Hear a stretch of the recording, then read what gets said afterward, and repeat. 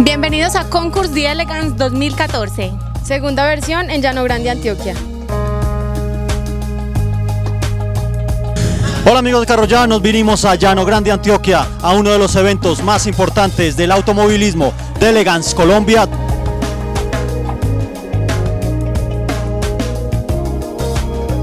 en donde usted va a ver joyas como esta, un Ford de 1915 y también vehículos súper deportivos.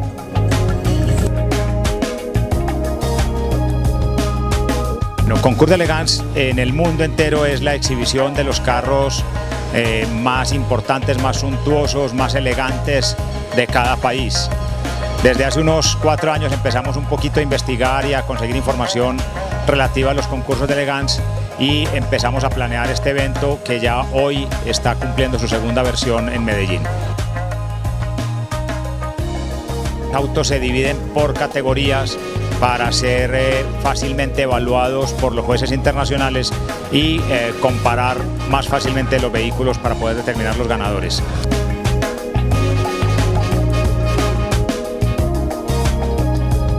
El Tiempo Casa Editorial por segunda vez hace parte del evento Concurso de Elegance. Su segunda versión está representada por varias marcas de la Casa Editorial, Carroya una de ellas, principal marca que está patrocinando el evento.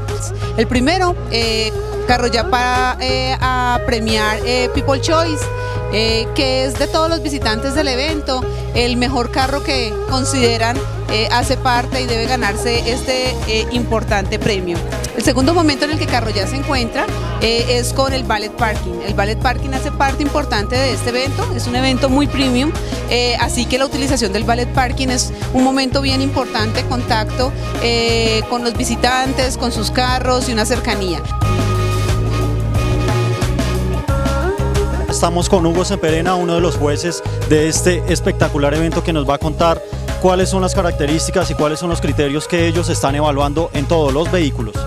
Bueno, buenos días. Este, lo que se está evaluando son eh, distintos aspectos que tienen que ver con la originalidad del auto en cuanto a sus partes, sus componentes, el funcionamiento de las mismas, eh, cuando los autos son conservados, bueno, se, se, evalúa también el estado que tienen los elementos tal cual salieron de fábrica y básicamente lo que se busca es eso, o sea, que sean vehículos que apunten a su mayor originalidad Realmente me he llevado una sorpresa muy agradable en este concurso porque he encontrado una importante cantidad de autos que son únicos en Sudamérica, en Latinoamérica.